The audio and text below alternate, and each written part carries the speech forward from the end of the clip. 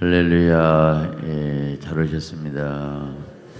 하나의 은혜를 좀 믿습니다. 예, 이번에 예, 주제가 하나의 말씀을 예, 믿음으로 어, 반응하는 삶, 반응하는 삶인데 예, 오늘 하나의 말씀을 예, 하나님은 말씀하신 분이고 하나님의 말씀을 통해서 생명을 주고 어, 하나님의 말씀 명령으로 조질 때 에, 내가 받아준 것을 에, 믿음이에요 믿음.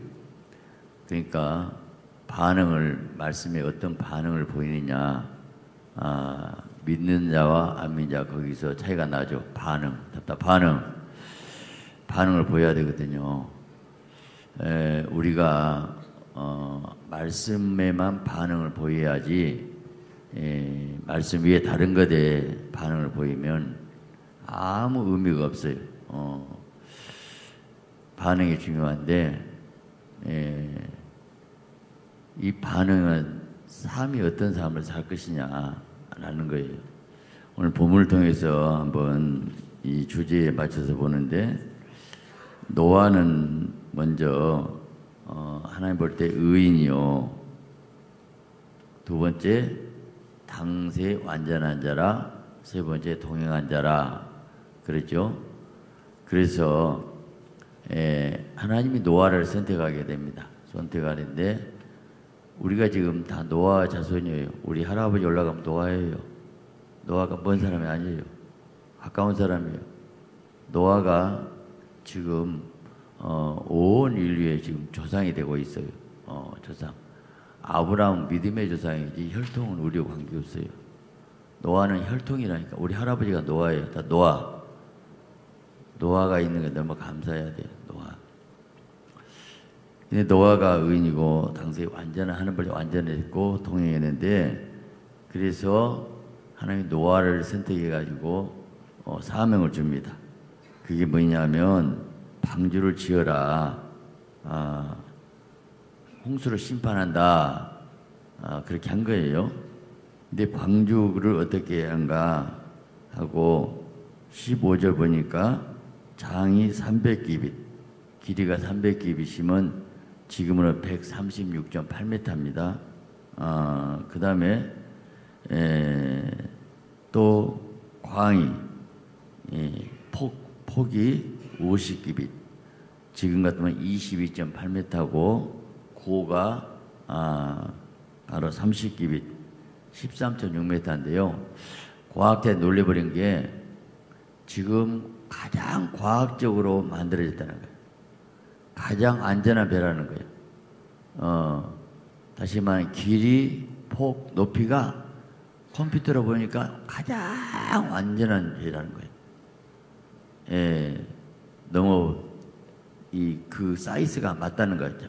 과학자들이 그래서 이것 보고 믿는 사람이 있어요. 이건 놀라다 이거. 이건 이건 하나님의 지시에서 이건 정확하다는 거예요. 에, 이 길이, 폭, 높이가 아주 이상적인 배, 세계 제일 완전한 배, 안전한 배. 이 배는 파도에도 예, 30m, 40m 파도도 견딘다는 이 배가. 그러니까 아무리 파도가 높여도요, 어, 30m, 40m 그 파도가 친 적도 없어요. 그러니까 절대 엎어지지 않을 수 있는데, 그래서 어떻게 이렇게 노아가 만들어서 하나님이신데, 그래서 하나님 살아계신다. 과학자들이 이 앞에 물을 끓어요. 어, 놀랍죠? 어, 근데 여기서 제가 말하고자 하는 건 뭐냐면, 방주를 노아가 지으라게 해가지고, 그대로 지었어요. 누가 지었을까? 모아가 지었어요. 그래서 그 속에 자기가 살았어요. 이게 믿음의 삶은 이걸 말하고 있는 거예요. 내가 하나님 하나님들 말씀을 살면 말씀이 나를 지켜주고 말씀이 내게 생명을 주고 말씀이 나를 보호하고 그거예요. 오늘 여기서 보면 그래서 어 16절 보니까 창을 내되 그 문을 옆으로 문이 하나였어요. 여러 군데가 예수만 구원 있고 진리가 되고 생명이고 나름 아버지 골자가 없다. 그래가지고 이제 예, 암수 한 쌍씩 전부 응? 육축대로 세대로 그리고 어, 그 안에 먹을 것 전부 식물띠가 어, 저장하라. 노아를 방류를 맞는 기간이 약 한 100년, 뭐 120년 나오는데 정확히 해보면 지금 120년, 100여 년으로 봐요. 그러니까 100년이라는 기간이 보통 기간이 아니에요. 한번 생각해 보세요. 100년 동안 뚝딱뚝딱 방주를 만들고 다녔어. 그 당시 비가, 비라는 건 아무것도 오지 않는 때예요. 안개만 자욱했더라. 하늘에서 빗물이 떨어진 적도 없어. 물방울 한 방울도 떨어진 적 없어, 그 당시는. 근데 하늘에서 폭우가 쏟아져가지고 가장 높은 산까지 다 올라가고 그래가지고 완전히 전부 다 아, 물에 빠져 죽는다? 누가 믿겠어요, 그것을? 한 달, 두 달도 아니고 100년이나 긴 기간 동안에 그 방주를 계속 짓고 앉았어? 보통 믿음이야. 그것도 뭐 고기 잡는 배라면 바닷가에 지는 보는데 저 산꼭대기에다가 그, 그 어마어마한 얼마나 큰지 이 크기가 이 크기가 우리가 보면 여기 지금 저 주차장 있죠? 저 주차장에서 저 새마을 동네 그 정도 커요. 어.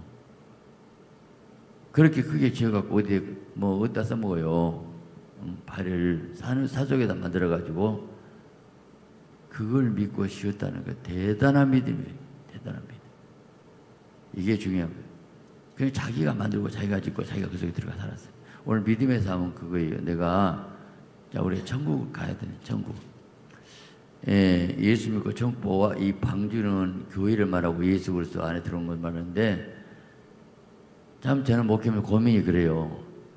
등록하고 적당하게 좀 그냥 따라서 하고 영접 좀 하고 그래갖고 다 천국 가본다면 쉬워. 근데 이게 문제네 이제. 여기서 교기가 지금 쫙 갈라졌어요 지금. 예, 박보영 목사님이 아버지가 목사, 할아버지 목사인데 예, 어렸을 때 초등학교 4학년 때인가 시험 들어본 거예요. 교회 싸움이 나버린 거예요. 장로들이 싸움 나고 난리가 나가지고 그때부터 하나님 안 계신다고 딱 떠나봤잖아요. 그러 그래가지고 완전히 불신이 돼버리죠. 그런 그리고 자기 의사 돼버리고 아예 이제 목사 아들이 교회에서 시험 들어본 거예요. 어, 하나님 안 계신다고. 예, 싸움한 거 보고. 예, 극적으로 뭐 하나님 은혜를 돌아왔죠. 물어봤대 하나님. 하나님 그때 그 장로 싸우고 교회 싸운 사람들이 왜 그렇습니까? 그 사람 때문에 자기가 이제 예수 떠나갖고 죽을 뻔해갖고 돌아오긴 했는데 물어봤대요. 그들이 가짜니라 그랬다는 거예요. 가짜니라. 지금 교회 안에 가짜가 너무 많은데 가짜가 가짜인 줄 모르고 있다는 건 엄청난 비극이에요. 목회자는 지금 고민을 합니다. 천국 갈까? 박봉 목사님이 방주교회, 인천 방주교회 가자마자 장로 안습사 법사 없어. 첫설기가 다 성대야. 끝. 야, 그분이 진짜요. 그런데 그렇게 하고 시작했어요. 깜짝없이 엄청난 폭발하고 있잖아요.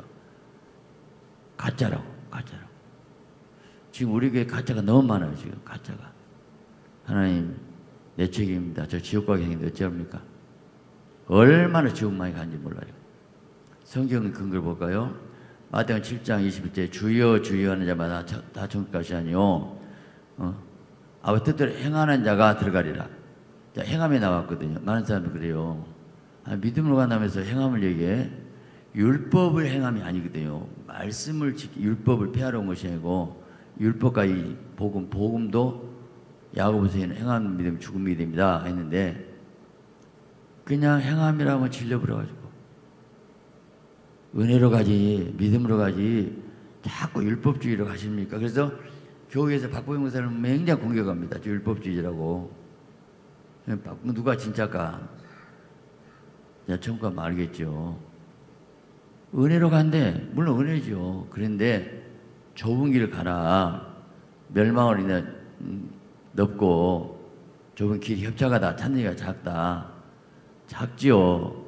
저는 좁은 길을 가라고 계속 십자가지고 나를 따르지 않, 합당치 않다. 게 십자가 지고 나를 따라오라게 그 따, 십자가 한숨만 지고 따라가는 것이 어렵잖아요. 합당치 않다. 이런 얘기가 너무 많은데 이런 얘기를 자꾸 너무 강하게 버리면 에, 부응이 안 됩니다. 페널티로 가야 되니까. 그 구흥되려고 어떻게 숫자 맞춰야 되니까 상업지로 가서 이제 타협이 되는 그 정치가 돼버린 거죠. 어, 이게 엄청난 비극인데, 그건 누가 책임지냐고.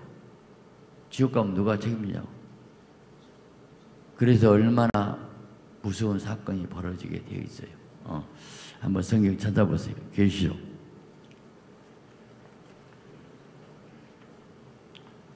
계시록, 요한계시록 제일 마지막입니다. 420일 마지막에 제일 중요한 거 얘기한 거요. 22장 14절부터 15절 시작. 그 두루마기를 빠는 자들은 복이 있으니 이는 저희가 생명나무에 나아가며 문들을 통하여 성에 들어갈 권세를 드려야 함이로라. 개들과 술객들과 행음자들과 살인자들과 우상수매들과 거짓말을 좋아하며 지어낸 자는 성 밖에 있으리라. 못 간다 이게죠? 또 18절 19절 시작 내가 이 책의 예언의 말씀을 듣는 각인에 증가하니 만약 누구든지 이것들 위에 더하면 하나님 이 책에 기록된 재앙들을 그에게 더하실 것이요. 만약 누구든지 이 책의 예언의 말씀에서 제하여버리면 하나님 이 책에 기록된 생명나무와 거룩화성의 참여함을 제하여버리라. 이 말씀에 여러분 생명나무 생명지 이름을 지어버린다고 나와 있고 무서운 얘기가 나와 있는데 성경 말씀을 여기 이 말씀 이 기준인데 이 말씀을 함부로 이제 말하는 거예요. 더하여 뭐 빼지 말하는 거예요. 가감하지 말하는 거예요.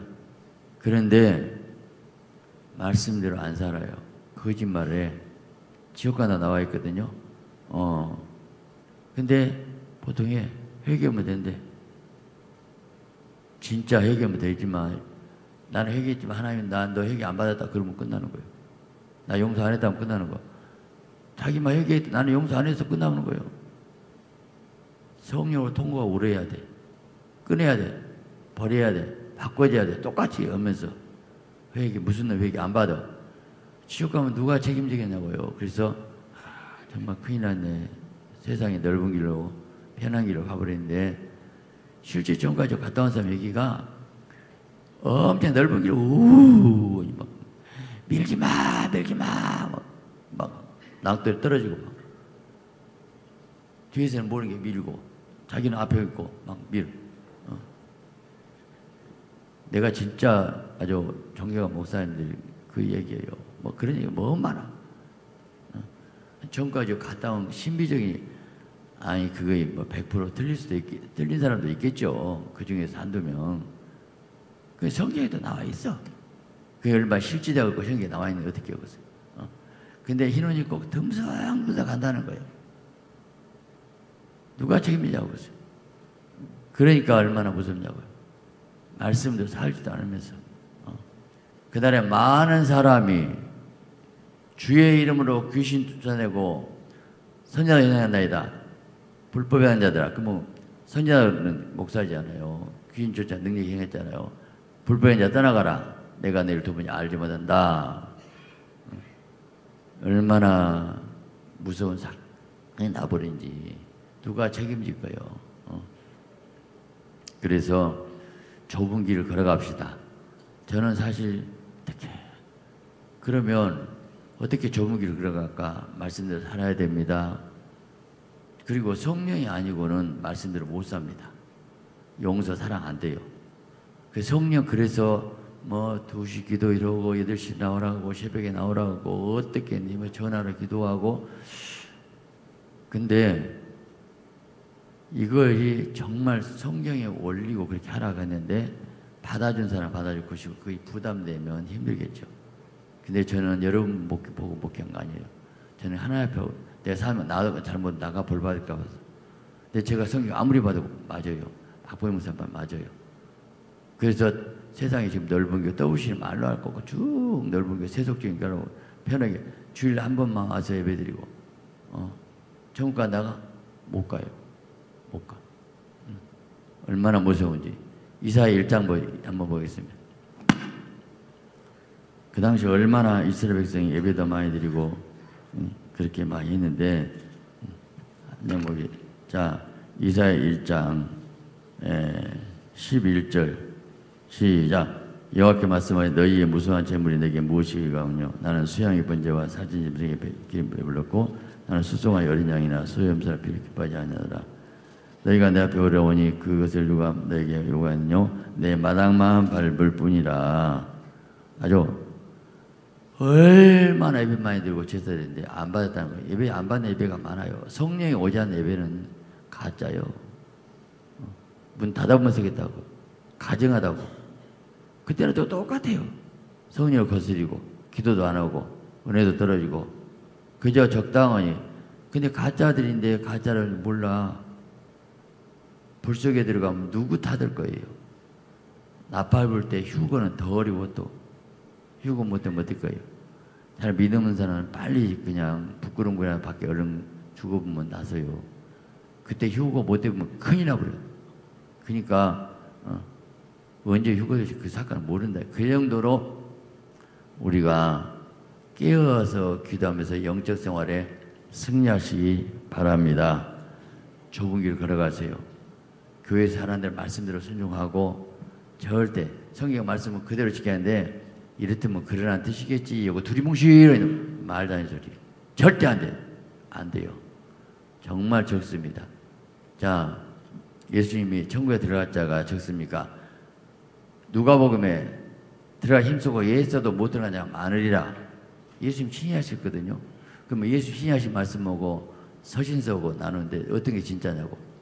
바울도 그렇게 말했는데 바울은 그 당시 로마서 갈라디아서 이 구약의 율법이 은혜로 된다는 그걸 설명하기 위해서 어, 믿음의 구원 이렇게 자꾸 해서 은혜로 다시 율법의 할례를 행하지 말고 믿음을 강조하냐고 로마서 가라는데 그걸 잘못 알아가지고 잘못 알아가지고 성경 말씀 예수님이 죄를 범하면 눈깔 빼버리고 섬 잘라버리고 별 무서운 지옥에 대해서 그렇게 많이 했어요. 예수님 친히 그렇게 하신 말씀 지옥까지만 간다 어? 너희가 바리새인과 생각하면 낫지만 결단 고 청 못 들어간다. 그 당시 바리새인들이 굉장히 율법주의자에다가 목사들이거든요. 이 독사 자식들아, 너희 다 지옥 간다. 이랬다면 이런 말 했어요. 천국에 목사가 하나 오니까 예수님이 뛰어나왔대요. 오랜만에 목사 나왔다고. 오랜만에 목사 나왔다고. 목사들이 이렇게 모여서 이런 설교해야 되는데 죄송해요 이런 말해서 오랜만에 목사 나왔다고 예수님이 춤췄단 건 아닙니까? 뭐가 지어놓은 얘기인지 진짜인지 모르지만 일리가 있는 말이거든요. 지금 조심해야 되거든요. 어? 떠보시 보세요. 가요. 말 아니고 강단에서 그러니까 내가 재판도 받았잖아 자기들한테 나를 또라이로 알아요 지금 정말로 통탄한 일이에요. 그렇게 세소가 될 수 있을까? 정치 타협하고 그렇게 많은 책자 잘 700권 800권 너희 다 보냈어요. 나를 웃었어요. 증거 다 보여줬는데도. 안 읽어요. 좀 읽어놨게. 좋은 책도 돼요. 그런 거 읽냐고 더라고 내가 할 말이 없어요. 그들이 다 노예장 지낸 사람들고 대단한 사람. 나 이쪽 말하고 싶지 않은데, 뭐 비평하고 싶지 않아요. 예. 너만 어렵냐 가깝으니까. 나는 우리 성도를 지키고 싶어요. 다른 교회 누가 뭐라 하더라도 말 듣지 마세요. 우리 천국 갑시다. 성경 그대로 갈 거예요. 말씀에 지켜서 여러분이 좁은 길 걸어가세요. 넓은 길 가면 죽습니다. 지옥 갑니다. 큰일 납니다. 여러분 절대로 말씀을 믿음으로 반응하세요. 살아야 됩니다. 자, 한 말씀 살기 위해서 거짓말하면 한번 그 가슴을 치고 통 아프고 절대 안 해야 되고 혀를 잘라보고 싶고 막 울고 막 이러면서 뭘 예를 써갖고 몸부를 죄야 되는데 뭐 그럴 수도 있지 살다 보니까 사업하면서 거짓말하는 사람 누가 있어? 이러고 넘어가 말다 이 소리야. 하나님 앞에서 11조 안 오는 사람은 하나님께서 도적이라겠는데 도덕놈들 총 가겠냐고 그렇게 설교한 사람 있어요. 주일날 이러면 또 소수 떨어지겠죠. 저는 고민을 해요. 지난번에 김대성 목사 그렇게 설교를 하더라고. 성물 먹으면 지옥 간다고. 11조 하는 지옥 간다고. 나는 김대성 목사 존경해. 내가 그렇게 설교 못한 내가 죄송해요. 진짜예요. 어찌할 것인가? 어찌할 것인가? 물론 11조가 한 건 아니에요. 믿음으로 가는데 진짜 자녀로서 믿음에서 천국과 지옥이 믿어지면 그것이 아깝냐고 딱 보셔요. 복 받아야 됩니다. 더 좁은 길을 가셔서 여러분의 복된 인생이 되시기를 예수 그리스도의 이름으로 축원합니다.